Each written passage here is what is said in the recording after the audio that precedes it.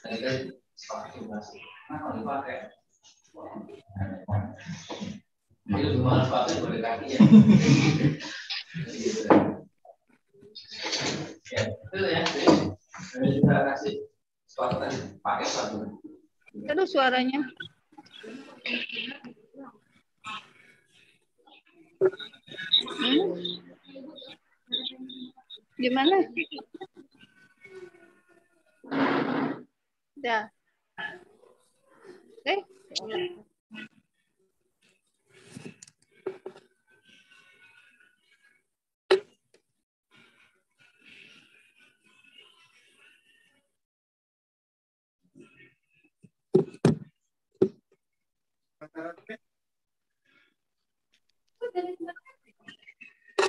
Ada lagi Bu pengantarnya Bu.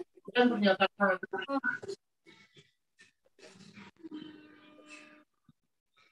Eh, dari mana makan?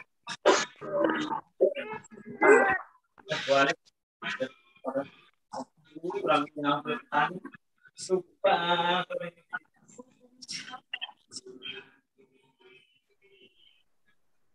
Jelas suaranya. Ya.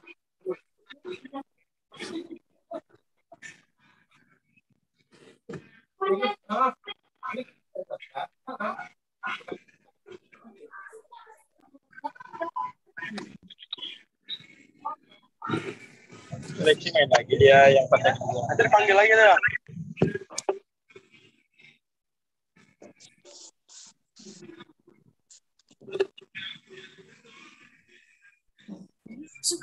Baik, Assalamualaikum warahmatullahi wabarakatuh.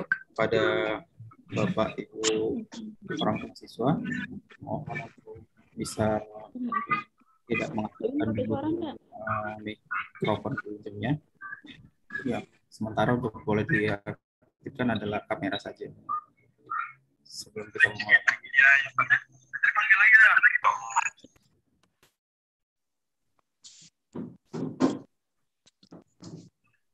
Baik, kegiatan kita pada hari ini adalah ke sosialisasi mengenai vaksinasi massal yang akan dilaksanakan di yang selanjutnya untuk kegiatan teknisnya bersama Kepala Dinas dari Puskesmas Kita mulai minggu ini jam 8 silakan. Dan kembali dimohon kepada Bapak Ibu untuk bisa mute dulu terlebih dahulu mic-nya eh, untuk mendengarkan informasi dari Dr. Ajija. Terima kasih.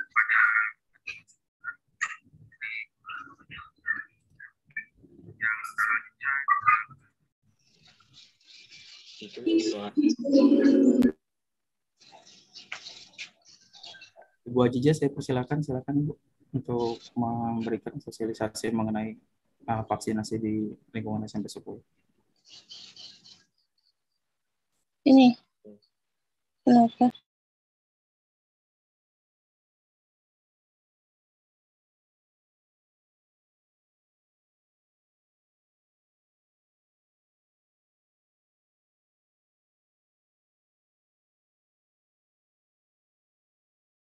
Ibu Ajija. Uh, mungkin mic-nya belum diaktifkan Ibu. Iya, Pak. Ini saya mau share screen, cuman belum bisa. Mohon Oh. di... Baik, baik.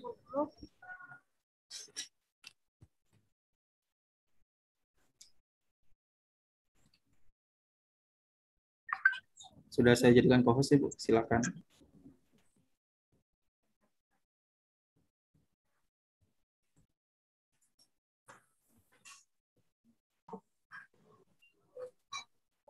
Ini kita langsung mulai ya, Pak ya?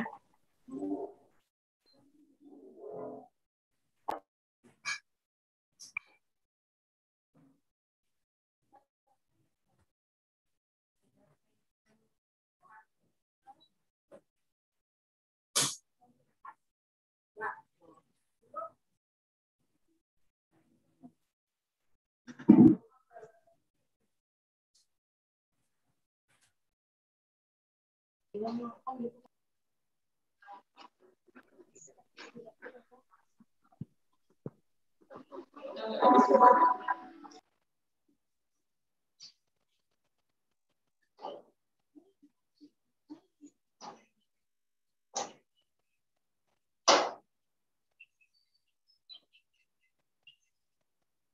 bisa terbuka.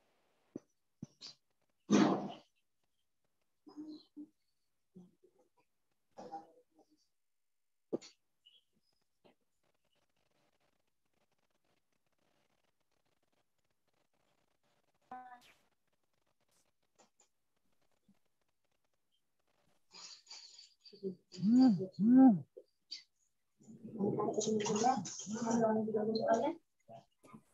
ya. Eh, tinggal ikut. Tinggalnya. Kita di mama. Nah. Banyak ini. Jum deh.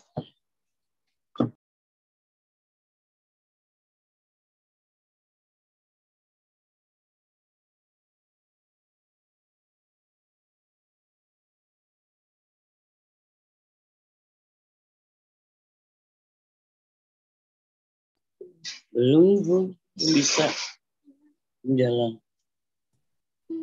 Bu Sherin mic-nya masih belum on, Bu. Eh, Bu, maaf, Bu Ajija, mic-nya belum. Belum. Ya guru yang kemarin.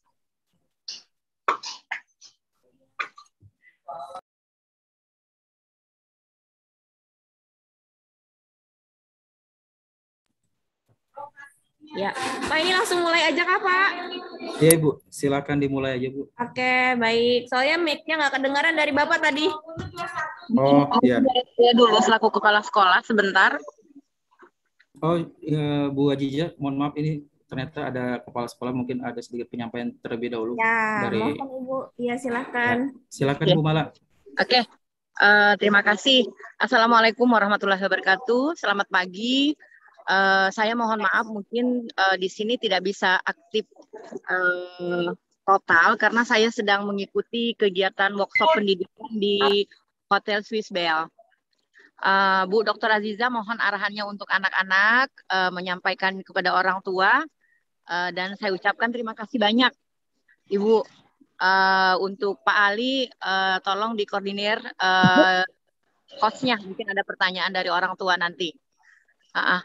Eh, Bapak Ibu orang tua siswa saya mohon maaf tidak bisa mengikuti sampai selesai nantinya karena saya ada kegiatan di Hotel Swiss Bell. Oke, eh, terima kasih Bu Dr. Aziza, terima kasih Bapak Ibu orang tua murid eh, atas kesediaannya untuk mengikuti Zoom ini eh, tentang bagaimana pentingnya vaksinasi untuk putra-putri Bapak Ibu semua eh, yang akan kita laksanakan di hari Rabu tanggal 22. Terima kasih sekali lagi atas partisipasi semuanya. Terima kasih Bu Dr. Aziza. Saya suasana saat ini sedang ada di Swiss Bell untuk kegiatan workshop pendidikan. Terima kasih. Eh, setelah ini mungkin saya izin mohon untuk eh, live ya Bapak Ibu semuanya. Terima kasih. Assalamualaikum warahmatullahi wabarakatuh. Waalaikumsalam warahmatullahi wabarakatuh. Waalaikumsalam warahmatullahi wabarakatuh. Terima kasih Bu Mala atas eh, se- sambutannya pada hari ini. Eh, selanjutnya mungkin bisa kita langsung saja untuk eh, ke sosialisasi vaksinasi pelajar yang akan diarahkan oleh Ibu Ajija dari Puskesmas Karangasem. Kepada Ibu, saya persilakan. Sini, sini, Mas. Ini kok, ini kok ingin terbuka ini. Yang terbuka. Baik,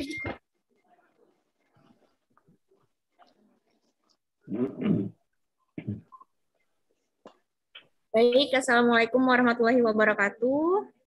Selamat pagi, Bapak Ibu semua yang terhormat, Ibu Normala, selaku Kepala Sekolah SMP 10, dan jajaran guru dari SMP 10 Samarinda, serta orang tua murid yang saya hormati. Eh, pada hari ini, saya akan menyampaikan sosialisasi mengenai vaksinasi pada pelajar sedikit kenalan, saya eh, adalah Dr. Aziza, saya dari Puskesmas Karangasem. Nah, eh, kondisi COVID di Kota Samarinda beberapa bulan yang lalu sempat sangat eh, kacau, sempat sangat mm, banyak yang sakit ya, terutama mulai pada saat awal bulan Juli dan di puncaknya itu di akhir eh, bulan Juli. Dan efeknya masih terasa sampai di bulan Agustus dan alhamdulillah setelah dilakukan eh, banyak vaksinasi massal di mana-mana dan eh, penanganan-penanganan medis juga semakin bagus. Eh, pada hari kemarin update terakhir eh, banyak sekali peningkatan pada kondisi COVID di Samarinda ya terutama di Sungai Kunjang. Pada saat yang lalu di Sungai Kunjang kita bisa lihat di sini ada 374 penderita. Untuk pada hari ini per kemarin sudah menurun sekali jauh menurunnya sudah sampai ke 22 angkanya. Yang lain pun begitu mengikuti ya, walaupun masih ada um, wilayah yang orange dan belum ada yang hijau namun secara umum kondisi COVID ini sudah semakin membaik. Nah, eh, untuk vaksinasi COVID ini yang sedang digencar-gencarkan oleh pemerintah, sebenarnya COVID itu apa? Eh, vaksin itu apa sih? Produk biologi yang berisi antigen. Nah, ini fungsinya untuk menimbulkan kekebalan spesifik. Jadi, setiap penyakit itu memiliki vaksin yang berbeda-beda ada vaksin uh, COVID, ada vaksin polio, ada vaksin campak. Jadi sudah lama ya sebenarnya kita mengenal vaksin itu sendiri. Nah, vaksin ini tujuan utamanya untuk COVID sendiri adalah membentuk kekebalan kelompok di masyarakat atau herd immunity. Nah, kenapa harus herd immunity? COVID ini bisa diandaikan seperti uh, sebuah kota yang terbakar. Di kota itu ada masyarakat yang miskin dan masyarakat yang kaya. Masyarakat yang kaya berusaha memadamkan api yang terjadi di kota tersebut dengan menggunakan alat-alat dari sederhana sampai yang paling canggih. Nah, pada saat api di bagian masyarakat yang orang kaya tadi sudah padam, mereka merasa tenang secara sementara, tapi di tempat lain api itu masih berkobar di uh, wilayah uh, pemukiman orang miskin. Nah, COVID ini tidak bisa hanya dikendalikan di ujungnya saja, tapi harus mulai dicegah. Semua harus aman, karena kalau masih ada yang antara kita, maka kita semua tetap beresiko terkena COVID. Oke. Jadi tujuan utamanya adalah kekebalan kelompok. Tujuan lainnya tentunya mengurangi penularan COVID itu sendiri di antara masyarakat. Dan apabila pun masih tertular, paling tidak orang-orang yang sudah divaksin uh, memiliki gejala yang lebih ringan daripada yang tidak divaksin. Lalu Eh, melindungi dan memperkuat sistem kesehatan secara menyeluruh karena apabila sudah terjangkit eh, COVID, terinfeksi maka bisa mempengaruhi kesehatan yang lainnya dan akhirnya akan mempengaruhi secara sosial dan ekonomi. Jadi tidak hanya sistem kesehatan saja yang uh, kolaps, tapi juga sosial dan ekonomi kita sangat terpengaruh dengan COVID ini. Nah, bagaimana jika divaksin apakah masih bisa sakit COVID? Tentu masih bisa terinfeksi COVID, tapi gejalanya mungkin tidak bergejala dan mungkin juga uh, mengalami gejala tapi hanya ringan saja. Setelah divaksin pun tetap harus uh, melakukan protokol kesehatan dengan menggunakan masker, mencuci tangan dengan sabun dan menjaga jarak bagaimana sebenarnya uh, keamanan COVID ini, keamanan vaksin COVID ini. Nah, sebelum digunakan di Indonesia, bahkan di seluruh dunia, itu uh, kita melakukan, para peneliti melakukan uji klinis pada vaksin tersebut. Dari uji klinis fase 1, fase 2, sampai fase 3. Nah, uh, dengan uji yang sangat ketat ini dan adanya pengawas dari Badan POM dan uh, dari FDA juga di sini uh, vaksin ini sudah terbukti aman dan efektif untuk uh, mencegah terjadinya penyakit COVID. Sehingga kita tidak perlu khawatir lagi jika eh, memvaksinasi keluarga dan anak-anak kita. Lalu pelayanan vaksin COVID ini dapat di Sini sini bapak di berbagai Sini tempat. kan Pertama bisa di puskesmas, puskesmas pembantu, di klinik, di rumah sakit, di kantor kesehatan pelabuhan, dan di pos pelayanan eh, vaksinasi COVID yang ditetapkan oleh Dinas Kesehatan. Jadi tidak hanya eh, di rumah sakit saja atau tidak hanya di puskesmas saja. Nah, sekarang sudah banyak eh, vaksin massal itu adalah pos pelayanan vaksin yang eh, sementara. Pemberian vaksinasi ini awalnya memang tidak langsung menuju kepada anak-anak seperti itu karena vaksin yang diproduksi ini jumlahnya masih sedikit. Vaksin kita ini sekarang diproduksi di dalam negeri, di eh, Bio Farma yang memproduksinya. Nah, jadi pada saat awal, pada saat vaksinnya belum eh, banyak, maka eh, ada pri- prioritas-prioritas kelompok yang diberikan eh, vaksin, yaitu tenaga kesehatan, lansia, lalu kepada guru, tenaga pendidik, dan pelayan publik, dan masuk ke masyarakat umum. Sekarang sudah banyak masyarakat yang mendapatkan vaksin, bahkan ibu menyusui juga pelan-pelan diperbolehkan untuk mendapatkan vaksin. Ibu hamil juga boleh saat saat ini mendapatkan eh, vaksin dan yang terakhir ini kita mulai melakukan vaksinasi pada remaja dan eh, pada remaja usia 12 sampai 17 tahun. Nah, kenapa sih anak-anak ini perlu di divaksinasi COVID? Yang pertama, COVID ini awalnya memang sangat jarang menginfeksi anak-anak. Tapi semakin lama semakin ke sini kasus an COVID pada anak-anak di Indonesia ini terus meningkat. Dan efeknya pada anak-anak itu malah lebih panjang sehingga mereka berpotensi mengalami long COVID. Nah, anak-anak ini juga ternyata lebih rentan terhadap varian Delta. Dan walaupun eh, anak-anak itu masih kecil, dia bisa menjadi sumber penularan bagi keluarganya, bagi orang-orang dewasa di sekelilingnya. Nah, agar eh, anak-anak ini divaksin juga eh, untuk mencegah terjadinya mutasi pada virus COVID ini. Dan yang paling penting, yang sangat kita tunggu-tunggu sekali adalah kegiatan belajar mengajar tatap muka. Eh, saya paham pasti di sini orang tua sudah sangat-sangat lelah sekali ya. Eh, sudah sangat lelah eh,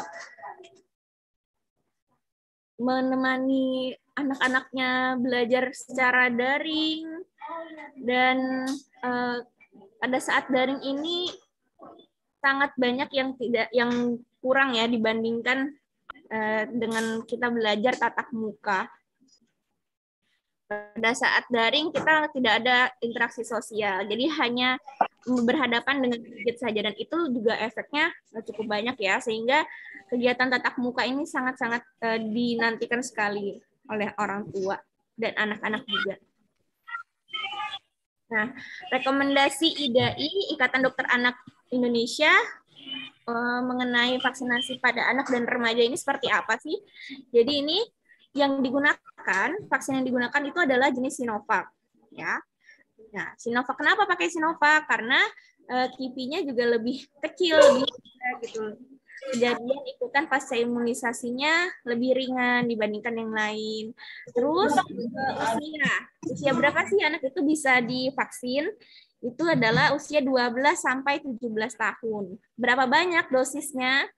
Dosisnya sama seperti orang dewasa, 0,5 mililiter atau sekitar 3 mikrogram. Nah, untuk mendapatkan vaksin ini ada indikasi dan ada kontraindikasinya. Kontraindikasi itu adalah eh, yang tidak boleh divaksin. Yang pertama adanya eh, apabila anak itu memiliki defisiensi imun primer, penyakit autoimun yang tidak terkontrol. Lalu adanya penyakit sindrom Guillain-Barré, penyakit transversa, acute demyelinating encephalomyelitis. Lalu anak-anak yang kanker yang sedang kemoterapi atau radioterapi itu juga tidak, tidak boleh mendapatkan vaksin. Eh, terus kontraindikasi lagi adalah sedang mendapatkan pengobatan imunosupresan atau sitostatika berat. Lalu anak yang demam 37,5 derajat atau lebih juga tidak boleh diberikan vaksin. Terus apabila sudah sembuh dari COVID tapi baru kurang dari tiga bulan ya ini sangat banyak kita temui di masyarakat. Jadi nanti kalau misalnya memang e, baru sembuh dari COVID belum sampai tiga bulan, mohon untuk lapor kepada wali kelasnya, kepada guru-guru di, di SMP 10 jadi nanti tidak bisa divaksin. Lalu ada vaks, eh, pasca imunisasi lain kurang dari satu bulan. Jadi kalau misalnya ada vaksin yang lain, vaksin influenza, vaksin eh, apa pun ya, itu eh, jika masih kurang dari satu bulan, nggak boleh dulu divaksin eh, COVID. Terus pada eh, kondisi hamil, eh, hipertensi yang tidak terkendali, ini hipertensi di atas 180 per 110 tekanan darahnya ya. Lalu diabetes mellitus yang tidak terkendali, gula darahnya di atas 200. Terus penyakit-penyakit kronis atau kongenital yang tidak terkendali.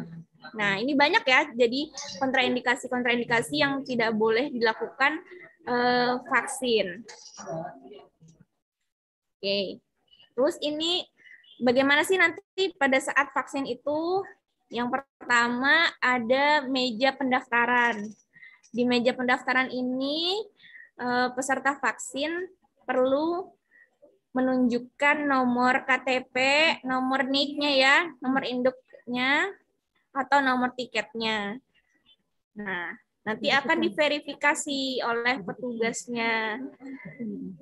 Mohon juga disiapkan uh, nick-nya ini perlu di uh, online kan oleh Capil juga. Karena beberapa kali kita uh, temukan nick-nya ini tidak sinkron dengan data di Capil sehingga tidak uh, ketemu. Pada saat dimasukkan nick-nya tidak ketemu.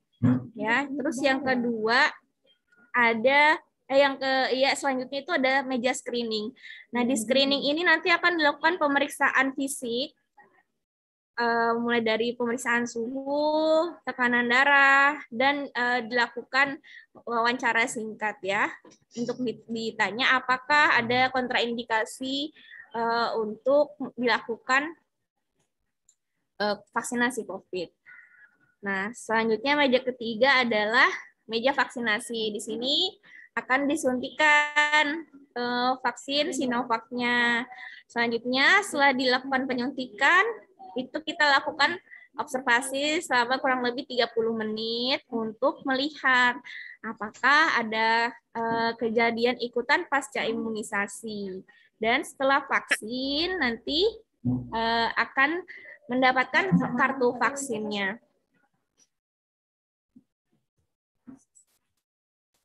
Selanjutnya, eh, apa yang terjadi pada tubuh saya setelah divaksin? Ya, jadi vaksin ini eh, terdiri dari dua dosis ya. Dosis pertama itu pada saat nanti di awal, dosis keduanya adalah satu bulan setelah eh, dosis pertama. Nah, pada saat vaksin dosis pertama itu terjadi pengenalan ya. Jadi ibarat orang itu baru ketemu itu ada pengenalan antigen dengan antibodi yang ada di tubuh kita. Antigen itu berasal dari vaksin yang sudah dilemahkan, lalu antibodi itu ada di tubuh kita masing-masing. Nah, setelah terjadi pengenalan antigen dan antibodi, biasanya antibodi ini akan meningkat jumlahnya. Nah, antibodi yang meningkat tadi eh, bisa menimbulkan gejala ya yang disebut dengan KIPI atau kejadian ikutan pasca imunisasi. KIPI ini ada yang ringan seperti misalnya ngantuk, lapar, capean gitu ya. Itu karena eh, antibodinya sedang bekerja, sedang mengenali eh, antigen-antigen dan membangun tentara-tentara di dalam tubuh kita. Ada juga yang sedang, sedang seperti misalnya demam, nyeri di tempat suntikan yang sangat sampai tidak bisa mengangkat tangan, seperti itu. Ada juga yang berat. Yang berat ini biasanya karena memang ada alergi pada komponen di vaksin. Tapi ini sangat jarang terjadi. Jadi untuk Sinovac, kebanyakan kipi yang terjadi itu ringan. Ya, ada yang sedang eh, nggak terlalu banyak ya ada yang berat itu sangat sedikit. Nah, nanti setelah 14 hari setelah suntikan kedua, setelah dosis kedua, di situ antibodi sudah siap melawan uh, penyakit. Jadi nanti kalau misalnya ada uh, COVID yang menginfeksi kita, antibodi itu sudah siap untuk melenyapkan, membunuh si COVID tadi. Jadi kita tidak ter, ter terinfeksi COVID atau misalnya pun terinfeksi gejalanya juga tidak parah seperti itu.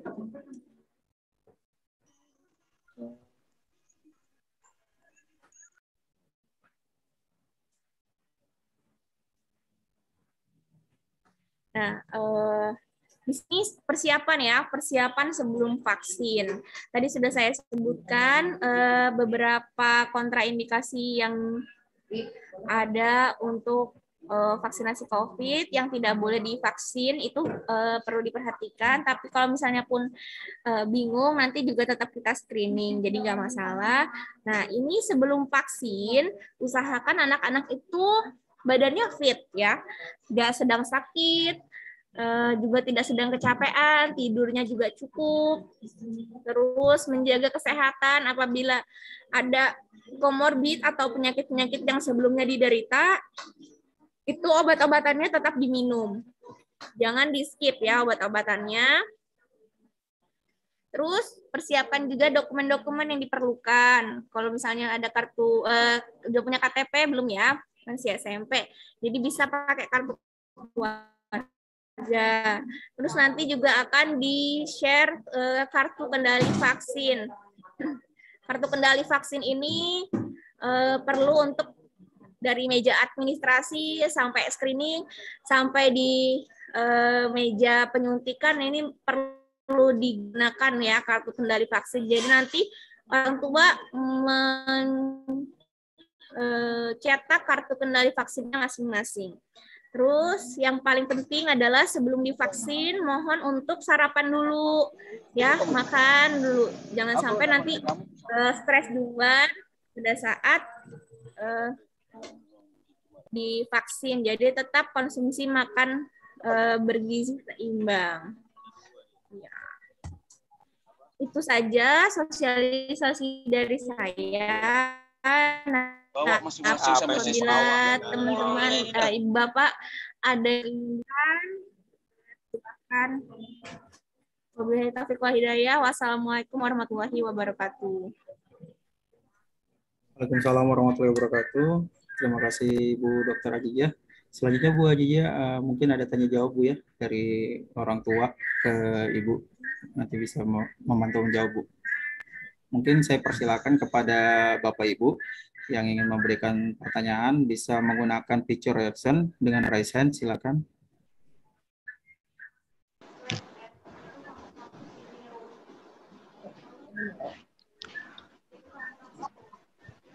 Uh, Rafela, silakan Rafela.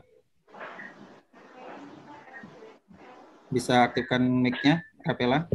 Assalamualaikum Sudah. Uh, dokter, saya mau nanya saya tanya. Saya kan penderita TB ya. Uh, Tapi Rapela, sudah dua kepada Rapela silakan. Kameranya kelihatan itu ya Pak? Assalamualaikum warahmatullahi wabarakatuh. Waalaikumsalam warahmatullahi wabarakatuh. Waalaikumsalam. Uh, Aziza, saya mau nanya ini, uh, anak saya ini kan penderita TB. Tapi pengobatannya sudah dua bulan. Gimana apakah bisa divaksin itu dong? Ya, uh, untuk ada langsung saya jawab ya Pak ya. Untuk ya, TBC ini uh, sebaiknya Ibu konsul lagi ke dokter anaknya dulu. Karena kalau untuk pada dewasa sebenarnya boleh langsung divaksin ya setelah eh, fase akutnya sudah selesai. Cuman pada anak-anak tetap eh, sebaiknya konsul ke dokter anak dulu. Nanti kalau misalnya dokter anaknya merekomendasikan, baru kita lakukan vaksin. Masih ada waktu ya. Mudah-mudahan hari ini sempat ke dokter anaknya.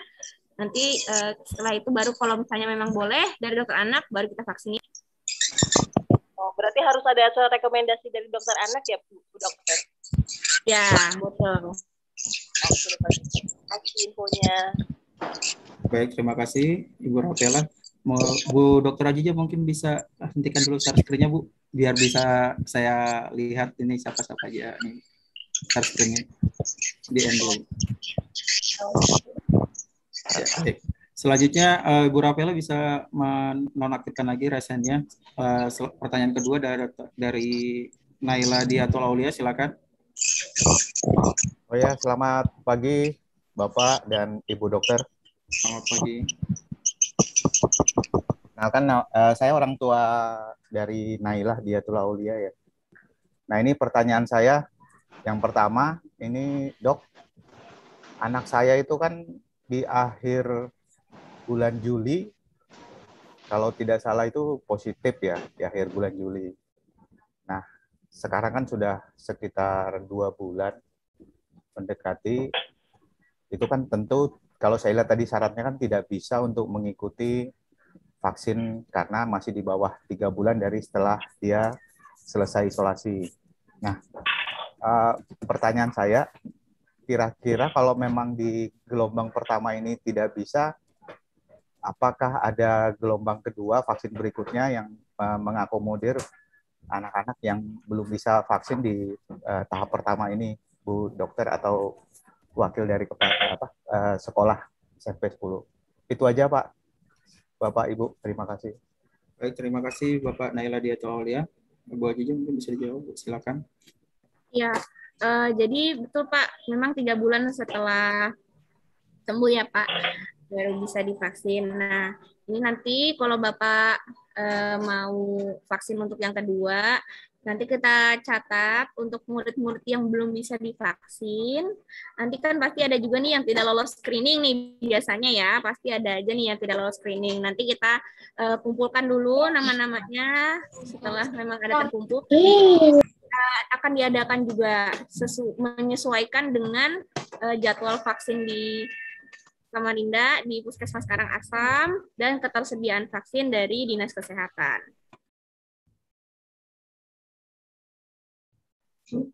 Itu ya Pak ya, jelas ya. Ya itu aja Bu Dokter. Berarti eh, anak saya kemungkinan akan ikut gabung di vaksin vaksinnya setelah mungkin teman-teman yang lain yang sudah dulu. Ya betul Pak. Nanti diakomodir untuk yang eh, bersama-sama yang tidak bisa divaksin saat ini. Oh iya, terima kasih ya Bu, Bu Dokter. Ya, terima kasih Bapak Naila. Ya mungkin eh, untuk vaksin harus tiga bulan Bu Dokter ya, tiga bulan setelah eh, dari pernah mengalami kena COVID seperti itu Bapak Ibu ya. Selanjutnya mungkin Bapak Ibu yang ingin bertanya kembali selain dua orang tadi silakan. Assalamualaikum. Pak Heru, baik Pak, silakan Pak Heru. Baik, eh, Assalamualaikum warahmatullahi wabarakatuh. Eh, terima kasih atas waktunya dikasih ke kita.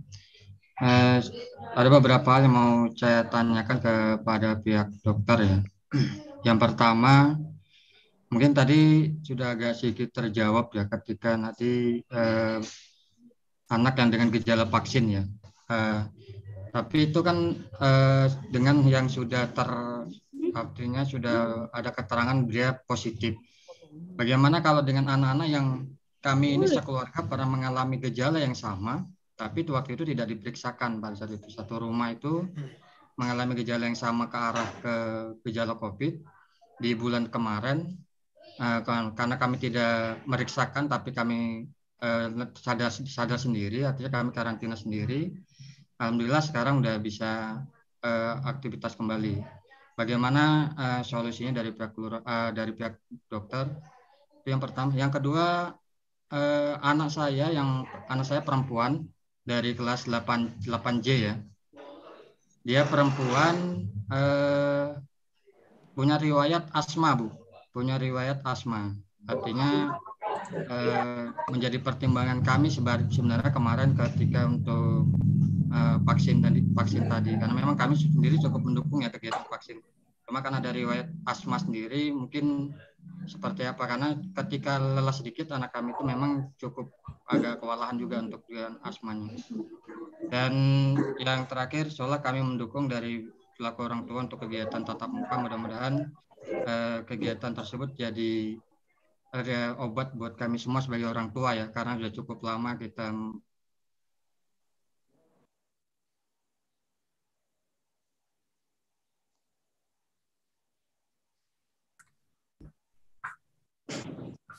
Pak Heru mungkin bisa di on kan kembali Pak Heru.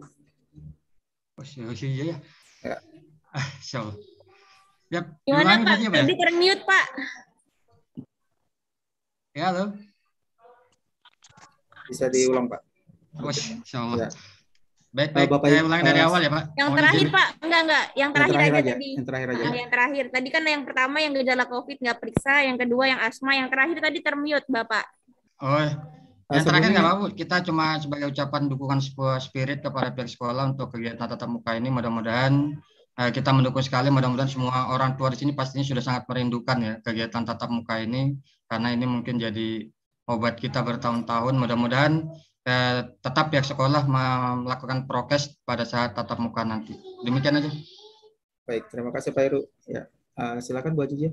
Ya, baik. Eh, untuk gejala COVID, eh, tetap ya Pak ya, sama seperti orang yang sakit COVID, tetap kita tunda selama tiga bulan setelah sembuh. Jadi kan tadi Bapak sudah melakukan isoman sendiri ya.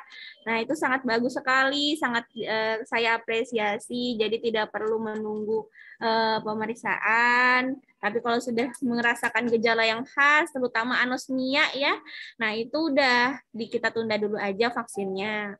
Sebenarnya begini, kenapa sih ditunda sampai tiga bulan? Eh, orang yang sakit COVID terus sembuh, sebenarnya eh, orang itu sudah memiliki antibodi seperti orang yang divaksin. Walaupun tingkatnya lebih tinggi pada saat divaksin ya. Cuman berbeda-beda setiap orang. Artinya orang yang sudah sakit lalu sembuh itu sebenarnya sudah punya antibodi.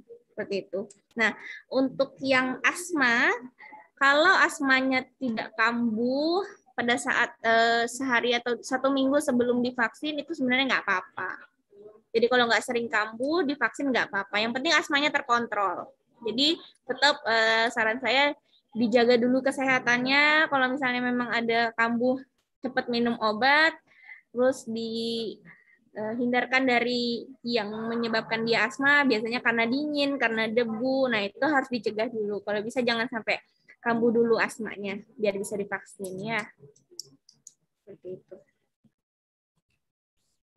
Terima kasih Bu Dokter Ajija. Selanjutnya eh, pertanyaan dari Pak Robi Rahmat. Silakan Pak Robi. Ya, pagi Bu Ajija dengan Bapak semuanya.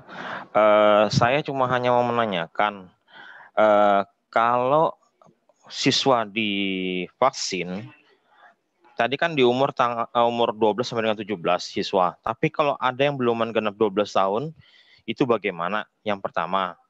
Yang kedua, pada saat proses vaksin kan kalau vaksinasi itu eh, ada dua hal.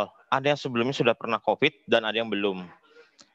Kalau yang sudah pernah COVID pada saat vaksin, mungkin dia tidak mengalami gejala apa pun, tidak mengalami demam atau apa pun, badan jadi lemes atau apa tidak. Tapi kalau yang belum divaksin, itu kan pasti eh, mungkin eh, si siswa nanti terjadi vaksin, dia lemes, apa demam atau apa. Solusi menghadapi itu bagaimana ya dok ya? Yang belum divaksin, kalau yang sudah di, su, eh, apa namanya belum COVID, tapi kalau sudah pernah kena COVID, dia pasti aman, gitu. Itu aja sih dok. Mungkin sarannya bagaimana? Terima kasih Pak Robi. Silakan Bu Ajija. Ya, eh, untuk anak-anak yang belum genap 12 tahun, mohon maaf itu belum bisa divaksin dulu. Ya, jadi nanti setelah 12 tahun pas baru bisa. Kenapa? Eh, karena itu memang sudah rekomendasi dari IDAI, ya. rekomendasi resmi dari IDAE. Kita tidak mungkin uh, memberikan vaksin di luar dari rekomendasi itu. Yang kedua, kita ini uh, sistem vaksinnya sangat ketat, Pak. Jadi ada yang namanya sistem PICARE dari BPJS. Nah, PICARE ini terlink dengan data-data di Capil. Jadi sehingga ketika kita memasukkan uh, NIK, nomor induk anak-anak uh, itu ke sistem, itu nanti otomatis akan keluar umur, tanggal lahir, alamat, segala macam itu semua keluar. Nah, kalau umurnya belum 12 tahun itu nggak akan bisa divaksin. Seperti itu ya. Jadi dari sistemnya akan tertolak. Terus uh, untuk KIPI, kalau misalnya sudah pernah COVID, terus divaksin, maka tidak terjadi apa-apa. Oh, belum tentu, Pak. Jadi KIPI itu masing-masing orang beda. Walaupun sudah pernah COVID, bisa jadi dia pada saat setelah divaksin demam juga. Ya, bisa jadi pada saat uh, anaknya ini belum pernah kena COVID, divaksin tidak demam, itu bisa. Jadi berbagai macam. Nah, solusinya bagaimana? Nanti pada saat setelah divaksin akan ada yang namanya kartu vaksin.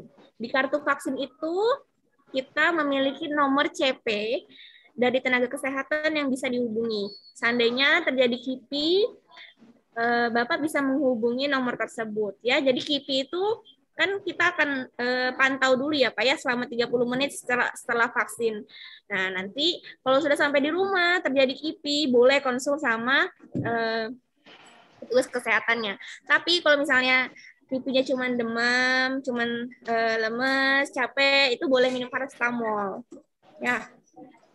Oke. Oke. Okay. Aja saya Pak. Baik, mungkin itu Pak Robi terus uh, jawaban dari Dokter okay. ya. Selanjutnya Pali. saya persilakan uh, Ibu uh, maaf uh, saya persilakan Dapa Pratama Aufariadi dulu ya. Ibu Ade Irma sebentar uh, karena yang sudah raise hand ya. Dapa Pratama Aufariadi. Silakan. Assalamualaikum warahmatullahi wabarakatuh. Waalaikumsalam warahmatullahi wabarakatuh. Ma, saya wali muridnya Dapa Pratama mohon izin untuk bisa sama pendapat dari Bu Dokter. Jadi begini, kebetulan uh, satu bulan yang lalu saya juga sudah kena, tapi ini sudah sebulan ini sudah sembuh.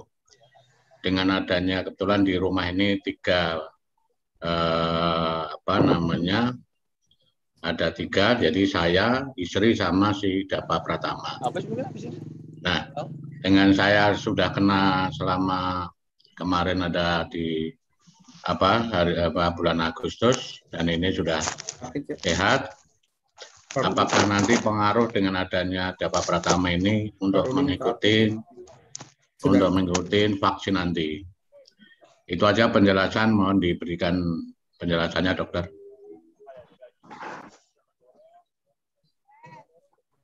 Baik, silakan Bu Ajija. Ya. Uh, sama ya Pak ya, jadi dari bulan lalu ya Pak ya, bulan kemarin bulan Agustus, Agustus. baru kena COVID-nya.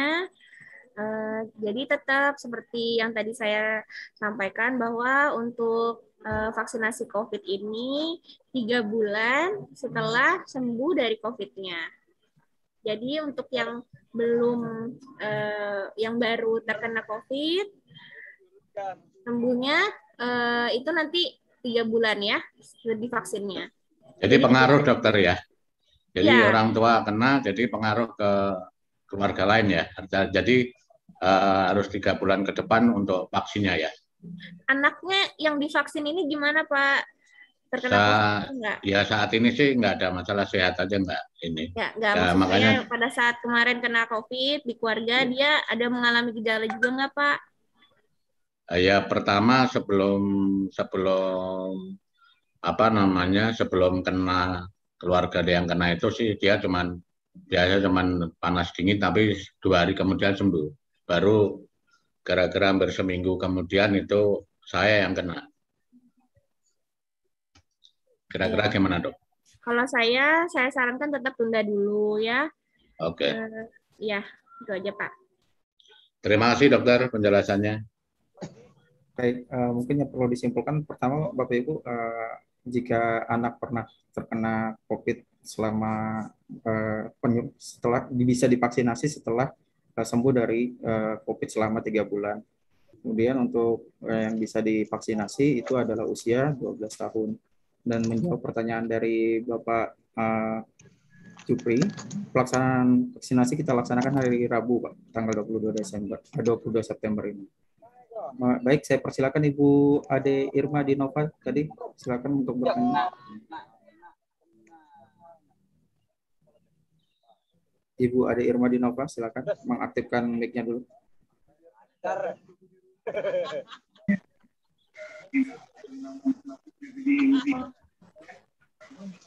Baik, kalau begitu, Ibu Ade Irma, mungkin mic-nya bisa diaktifkan. Ya, ya silakan. Ya, Pak. Assalamualaikum, Ibu Aziza. Waalaikumsalam. Saya mau tanya, kema kemarin anak saya hari Kamis, Jumat, dia kan demam. Baru itu dia ada nyeri di perut. Saya bawa ke rumah sakit Hermina. Itu anak saya disuruh ambil tes air kencing. Karena kan dia kalau kencing itu sakit, Bu. Baru itu anak saya itu di hasil labnya dia tuh infeksi saluran kemih kencingnya itu bu itu kalau misalnya ini kan masih ada obat, dia kan berobat jalan. Anu itu tetap harus divaksin kamu dalam waktu dekat ini atau enggak?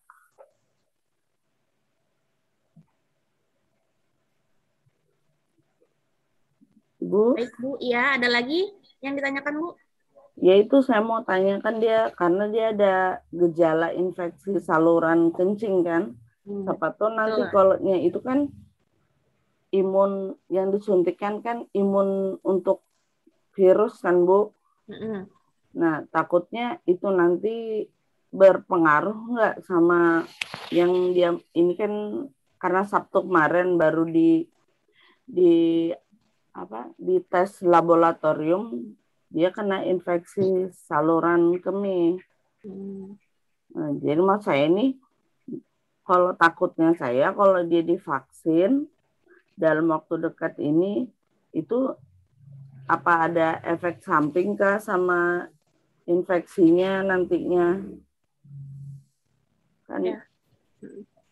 kalau hasil labnya ada di rumah atau nanti pas mau vaksin saya bawa dulu ke ya. uh, mungkin sudah di, uh, dipahami ya kali uh, ini pertanyaannya Bu Ajija bisa langsung karena ya. kita keterbatasan waktu nih Bu Ajija. Oke oke nah. iya baik. Nah, jadi untuk uh, ISK tadi kan kenanya hari uh, Kamis Jumat ya dan sudah ya. diobatin juga. Hari nah, Sabtu. Ya Sabtu Minggu Senin Selasa Rabu.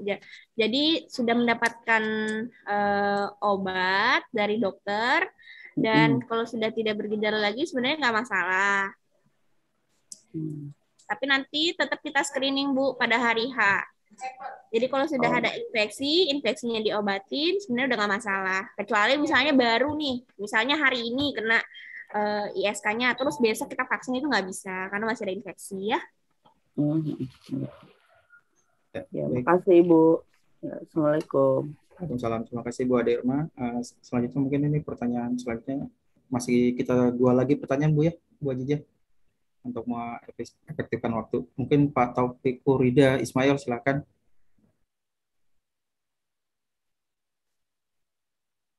Pak Taufik Rida. Ya, ya Assalamualaikum. Waalaikumsalam. Terima kasih uh, dari pihak SMP 10 dan Bu Dokter Aziza. Saya uh, wali dari Kesha Nafila kelas 8 kelas 8 H, Bu. Jadi sebenarnya saya ini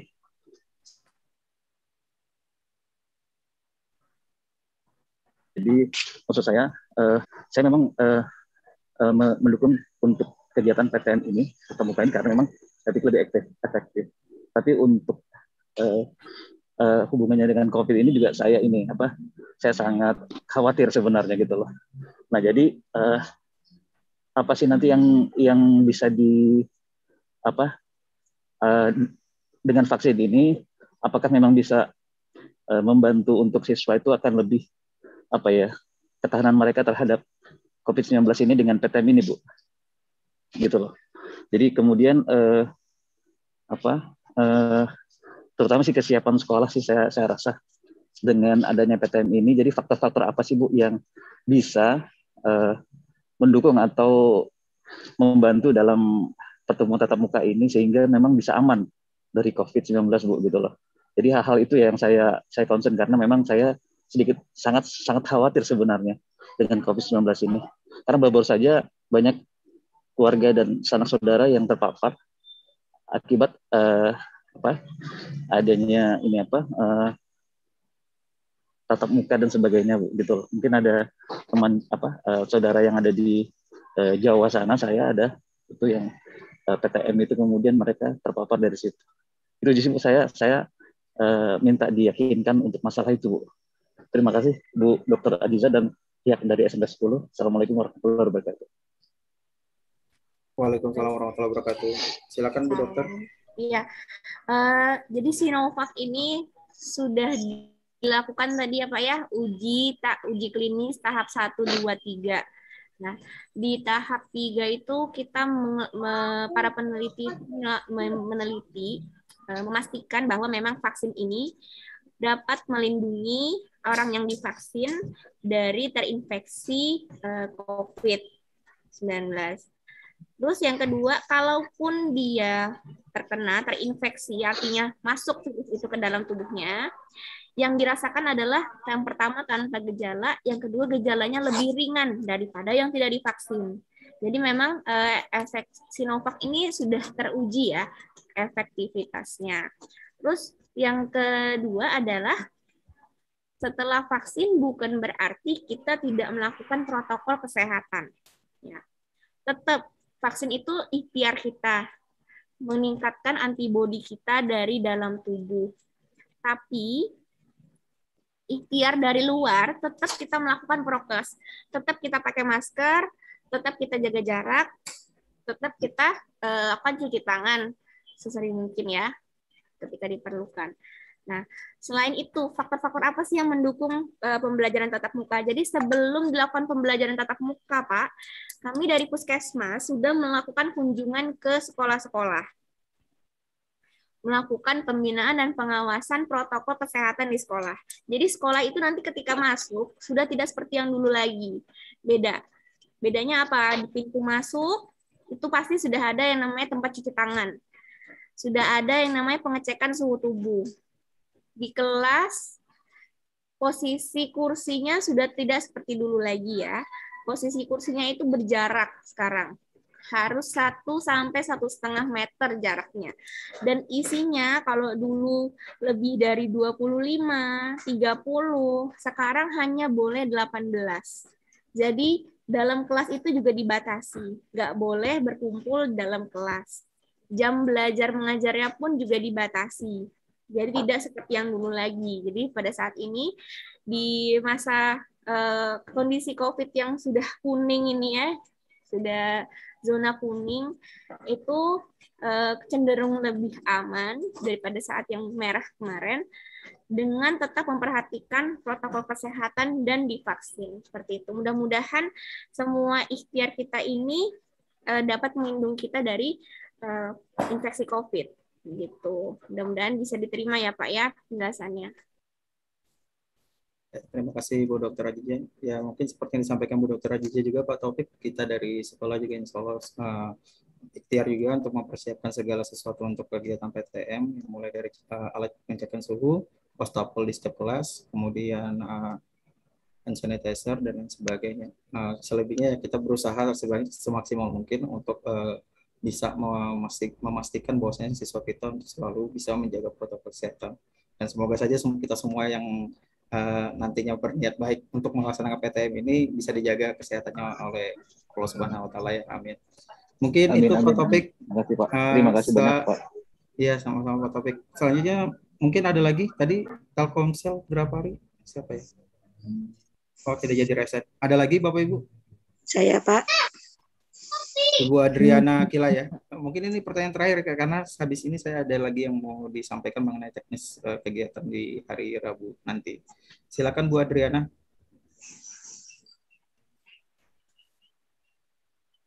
Ya, terima kasih atas waktunya Pak. Uh, mengingat saya dengan anak saya lagi mengikuti uh, acara haul ibu saya. Apakah masih ada nanti uh, vaksin uh, selain tanggal 22 itu? Karena mohon maaf saya tidak ikut dari awal tadi karena beberapa kali saya usaha masuk nggak bisa masuk. Mungkin itu saja pertanyaan saya. Terima kasih. Mengenai vaksin selanjutnya Bu ya, setelah tanggal 22 ini ya. Mungkin Bu Jija ada ya. bisa soalnya kalau saya dari sekolah belum ada informasi. Silakan Ya, betul. Uh, untuk pelaksanaan vaksin yang selanjutnya yang uh, setelah tanggal 22 ini itu nanti kita jadwalkan ulang. Jadi nanti akan kita kumpulkan dibantu pihak sekolah juga nama-nama murid yang belum divaksin. Berapa banyak? Nanti pada saat ada vaksinasi kita arahkan untuk datang ke situ. Gitu ya. Baik. Cuman jadwalnya kapan, nah, jadwalnya kapan kita belum bisa memastikan karena penjadwalan itu nanti tergantung dari uh, eh, PJ vaksinnya lagi, terus ketersediaan vaksinnya juga. Mudah-mudahan masih bisa, tapi insya Allah akan terus banyak kok Bu vaksinasi-vaksinasi ah, untuk terutama untuk anak-anak remaja ya, untuk anak sekolah karena ini kan udah pada mau PTM semua, tapi insya Allah adalah. Baik. Terima kasih Bu Dokter ya. Mau menambahi, mau menambahi. Halo. Baik, Ibu mau oh, ya. kayak Ini dari ya. PJ vaksinnya ya, Pak. Oh ya, silakan, Bu. Halo. Iya, iya, Bu. Ya, Ibu siapa ini? Bu Ibu, Ibu April. Atau Ibu April, April ini silakan, adalah Bu. PJ vaksin. Oh ya, saya silakan, PJ vaksinnya Karangasem dan juga anu, orang tua murid kelas 8. Uh, begini, untuk vaksinasi yang tanggal 23 itu adalah dari Disdik ya. Jadi itu yang Disdik dengan dinas yang bekerjasama. Kita sebagai puskesmas yang apa namanya sebagai vaksinatornya. Untuk kelanjutannya untuk vaksin yang lain-lain, kalau untuk Kasam belum ada, tetapi kalau yang masa lain-lain itu dinas yang menjadwalkan. Jadi kalau untuk SMP 10 mungkin tanggal 22 aja. Jadi diharapkan kalau bisa anak-anaknya dipersiapkan jangan sampai sakit. Jadi nanti tanggal 23 itu memang untuk SMP 10 siswa ataupun guru-guru kemarin sudah pada divaksin ya, semuanya sudah habis. Kecuali yang belum bisa. Jadi kalau untuk orang tua atau apa kayaknya belum bisa ngikut di situ kecuali ada sisa apa ada siswa yang ditunda atau apa-apa vaksin masih bisa karena peruntukan yang di SMP 10 itu untuk siswa dan tenaga pendidik. Begitu. Baik, terima kasih Bu April ya. Uh, iya, kalau aja, untuk jadi Iya, kalau untuk jadwal untuk jadwal selanjutnya kalau masal kemungkinan akan ada terus, tetapi untuk di SMP 10 ya tanggal itu aja gitu.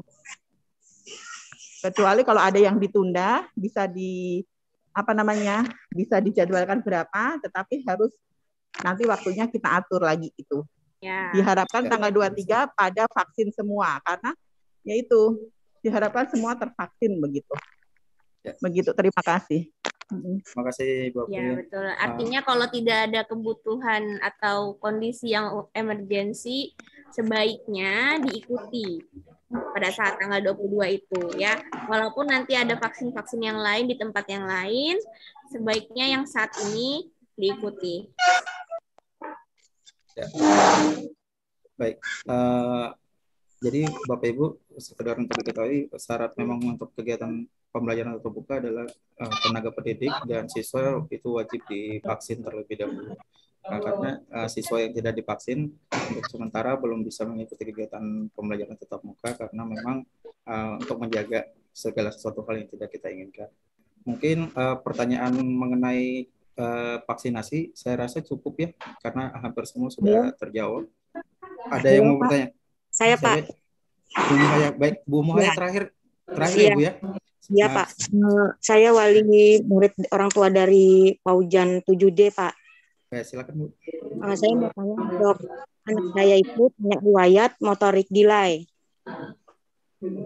Nah itu boleh divaksin atau tidak dok? Soalnya sampai sekarang Hmm. perkembangan motoriknya tuh belum tidak seperti anak-anak yang lain gitu loh dok. Ya, silakan Bu Ajijah. Motorik delay umur berapa Bu anaknya sekarang? Eh, 12 dok, 12. 12, Lebih. sudah 12 tahun ya. Eh, untuk motorik artinya eh, untuk berjalan dan eh, duduk masih bisa ya Bu? Masih bisa sih, cuma dia kalau untuk aktivitas tuh nggak seperti anak-anak seusianya dok. Maksudnya seperti kayak lari gitu kan nggak sekencang anak-anak lain kayak gitu. Atau lain, maksudnya olahraga yang berat gitu, olahraga yang berat gitu dia nggak bisa, tapi mengikutin. Tapi untuk aktivitas sehari-hari bisa ya Bu ya? Ya bisa. Ya, nggak masalah Bu, kalau gitu bisa aja divaksin. Artinya dia bukan kondisi infeksi, bukan kondisi yang akut yang mempengaruhi eh, daya tahan tubuh, imunnya, nggak apa-apa, nggak masalah. Hmm. Terus ini itu kalau vaksin itu sesuai timbangan badan atau gimana dok? Berat badan? Sampai usia, Oh dia usia ya? ya. Untuk vaksin COVID dia usia 12 sampai 17 tahun. Hmm, Bukan masalah berat badan ya dok ya? Nggak ada Bu, nggak ada masalah berat badan. Usia Bu ya, Makasih, disesuaikan usia. Ah, ya, baik. Eh, mungkin itu selanjutnya saya ingin menyampaikan mengenai eh, kegiatan selama di tanggal 22 September. Sebelum- Sebelumnya saya ucapkan terima kasih Bu Ajijah dari eh, Puskesmas Karangasem, Bu Aprilia Indra Stuti ya. Eh, ini yang perlu diperhatikan untuk siswa ketika eh, nanti di tanggal 20 Desember, mohon untuk bisa membawa alat tulis sendiri, Bu ya. Jadi alat tulis digunakan eh, tidak boleh untuk bergantian. Jadi diharapkan Bapak Ibu bisa membekali anaknya untuk membawa alat tulis karena ada kartu kendali vaksin yang perlu diisi oleh siswa. Itu di sini nama, tanggal lahir dan ini nik. Nik jadi eh, kalau bisa eh, kartu keluarganya ada di bawah juga alhamdulillah atau mau dipoto juga atau gimana yang pasti nik ini bisa terisi karena untuk pendataan dari puskesmas di sini mengisikan alamat dan nomor HP yang aktif.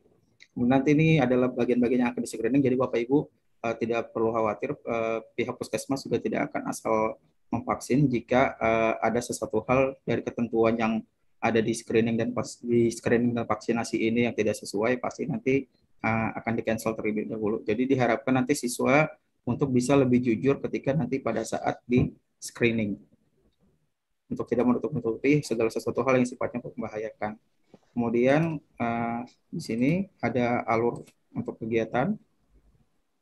Untuk di tanggal 22 September nanti nomor antrian dan nomor antrian dan kartu kendali vaksin yang saya share tadi itu bisa diambil eh, diambil di wali kelas. Nanti wali kelas akan eh, mengarahkan untuk konsep eh, pengaturan dari eh, setiap siswa di setiap kelas untuk divaksin.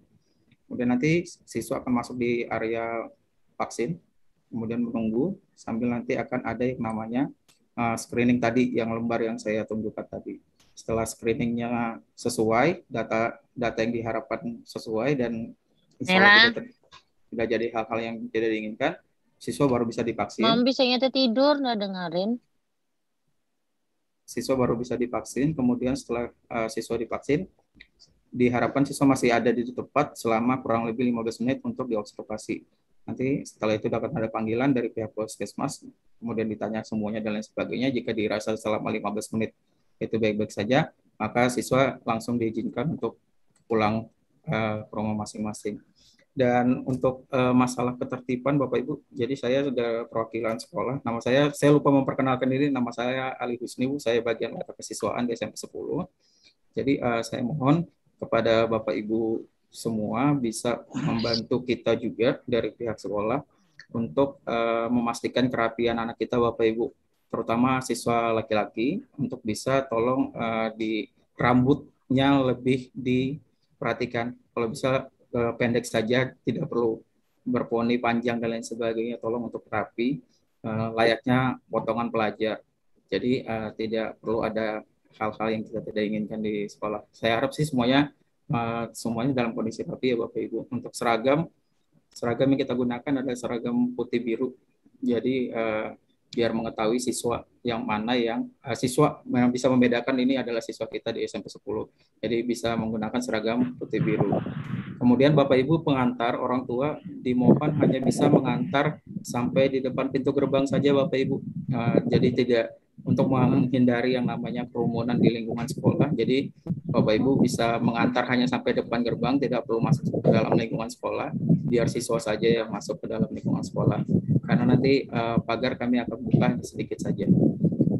Selanjutnya mungkin itu untuk teknis di hari Rabu. Jadi Pak, uh, saya hanya minta tolong kepada Pak Ibu untuk mempersiapkan anaknya untuk membawa pulpen sendiri, ya hand sanitizer jika dirasa perlu. Tapi kami juga akan disediakan uh, membawa pulpen.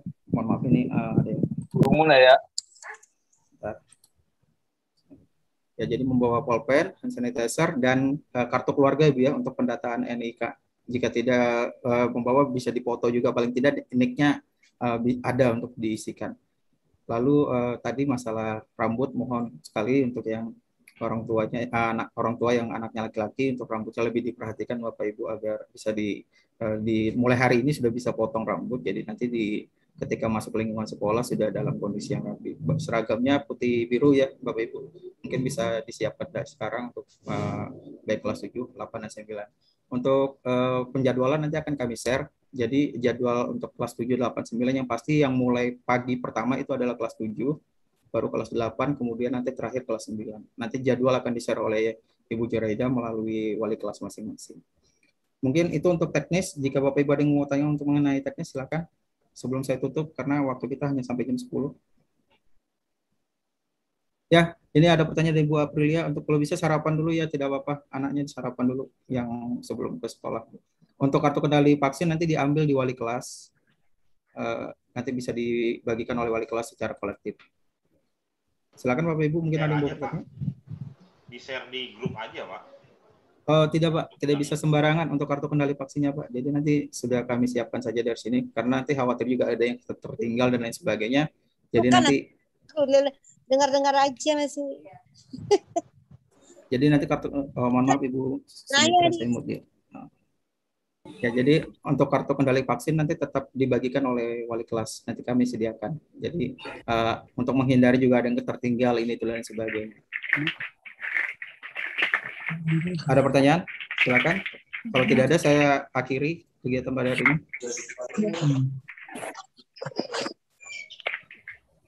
Ibu Arin, Arini, Surya Lestari, silakan Ibu.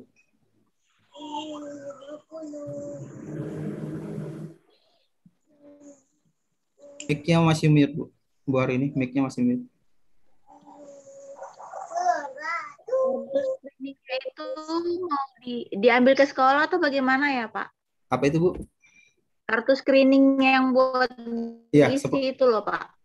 Seperti yang saya sampaikan tadi Bu, nanti dibagikan oleh wali kelas. Jadi nanti biar menghindari hilang, ketertinggal dan lain sebagainya, kami yang sediakan dari sekolah untuk kartu screening. Ke sekolahnya hari apa ya Pak? Hari Rabu Ibu, tanggal 22 September. Hari Rabu ya Pak. Ya, dua hari lagi, dua hari Oh ya, dari hari ini. makasih Pak. Ya. Ali, Ya, silakan Ibu Yadirma. anu ini anak saya ini kan yang tadi masalah dia infeksinya ini, dan kan saya Hmm. sudah tanya sama dokter Aziza, Ya. itu tetap tanggal 22 dia saya ajak aja untuk anu kah daftar ke sekolah Tadi dari Bu Ajija mengizinkan untuk vaksin atau tidak Bu? Kalau tidak, tidak usah ke sekolah kalau gitu. Bu. tadi yang, kan yang, uh-uh. Yang ke sekolah hanya yang bisa vaksin saja Bu. Kan kemarin kita sudah daftar juga uh, melalui Google Form di setiap Iya. anak yang yang bi- yang bersedia vaksin silakan ke sekolah. Yang tidak uh, bersedia Nah, dia ya. kan dia Hmm. kan masih ada obat obatnya yang harus diminum ya. gitu. Ya, Bu. jadi jadi nggak usah hadir dulu ya pak ya tidak perlu hadir Bu. Yang hanya yang diizinkan oleh Bu Dokter Ajija untuk vaksin saja. Jadi anak usia 12 tahun, kemudian uh, tidak uh, nanti selebihnya memang nanti akan di screening. Tentunya pasti uh, melalui tahap screening karena juga saya waktu vaksin juga melalui tahapan seperti itu. Kalaupun bisa vaksin pasti akan dilanjutkan vaksin jika tidak tidak diras, dirasa dari pihak puskesmas itu tidak layak untuk vaksin, uh, tidak mungkin akan dipaksakan untuk divaksin. Ya nanti harus Jadi- juga saya Ya. nanti sambil anu nanti komunikasi juga sama wali kelasnya anak Oh, ya. saya nanti untuk Bisa, bisa. bertanya. Ya. Eh, Makasih ya, Pak Ali. menambahkan Ya, menambahkan sedikit ibu Eh, Ya, jadi silakan. untuk ISK ya infeksi saluran kemih kemarin Ya. sudah didapat didapat obat dari hari Sabtu Minggu Senin Selasa nah udah diobatin nanti insya Allah lebih dari tiga hari kalau misalnya pada saat tanggal 22 itu sudah tidak merasakan gejala nggak apa-apa datang Dibawa aja, aja. ya tapi kalau misalnya misal masih merasa demam nyeri perutnya masih nyeri eh, saat berkemihnya masih ditunda. Jadi nanti dilihat lagi ya. Pagi, pagi hari tanggal 22 dilihat kondisi anaknya. Oh iya. Jelas ya, Bu? Ya, makasih. Ya, baik. Eh, ini me- apa, melanjutkan informasi dari Bu Aprilia. Jadi pastikan eh, mungkin Bapak Ibu bisa sudah eh, memastikan bahwasanya nik anak Bapak Ibu itu sudah memang terdaftar di Capil. Jadi eh, nanti tidak agar memudahkan pada saat penginputan di Pi- penginputan di PIKER.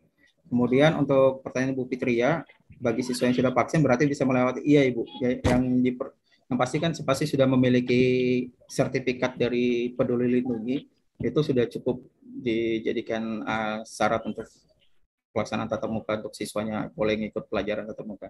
Jadi ya Bapak Ibu yang sudah vaksin di luar daripada kegiatan yang dilakukan oleh SMP 10 jadi tidak perlu dua kali vaksin. Eh maksudnya tiga memang vaksin Sinovac dua kali tahap maksudnya tapi tidak perlu ada di dua tempat. Ya misalkan sudah vaksin di uh, ambil contoh ada beberapa orang anak yang sudah vaksin di Polres selama dua kali berarti ya udah dia sudah sudah menjalankan tahap vaksinasi. Jadi tidak perlu lagi mengikuti lagi vaksinasi jadi harus suntik empat kali. Eh, karena Sinovac ini kalau tidak salah hanya dua kali saja Bu, Bu Ajija ya hanya dua kali suntik Ya, jadi dua dosis, Pak.